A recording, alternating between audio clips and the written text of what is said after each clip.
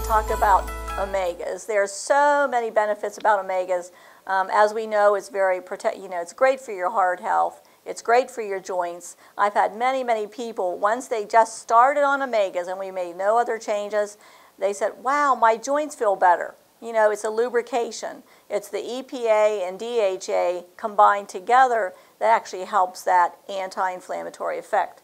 There was a recent study about um, fish oil and vitamin E.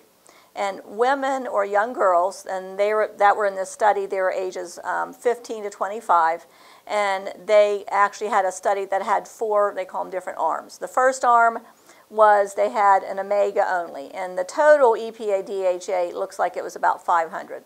Now ours are a lot higher than that. They're 500 um, EPA DHA combined. Um, ours are 800.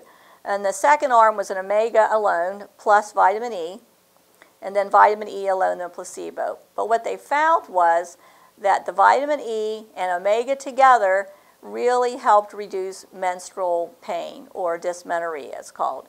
And it significantly reduced the, um, the pain. So that's another reason to do omegas. Um, more recently, they have shown that um, increased fish oil consumption reduces the risk of overall dying of any disease by 14%. And what are some you know, what are some things that also we already know fish oil is beneficial? Decreases arrhythmias or irregular beats, decreases inflammation, which I just talked about, decreases obesity, decreases diabetes, decreases metabolic syndrome and insulin resistance, and it also helps with depression.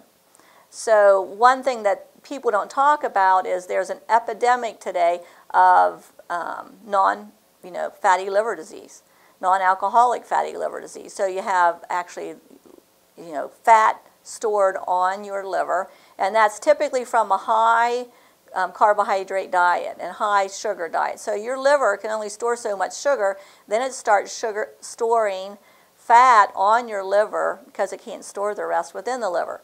So whenever you add fish oil, it increases the blood flow to the liver, it decreases the fat deposits, and thirdly, it decreases the liver enzymes. So, you know, increasing fish oil can actually help your liver.